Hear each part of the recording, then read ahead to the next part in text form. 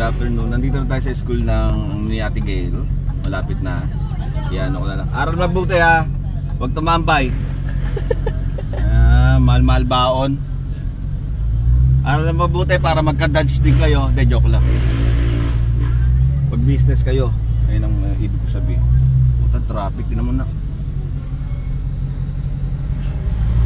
Hindi pa naman ang daan dyan. Doon tayo, no?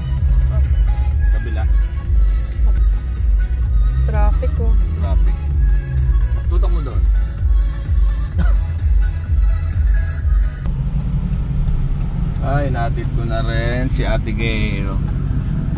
Uber Dad. Wait lang, ano rito? Ah, pasok. Aral mabuti guys, mag-aral na mabuti.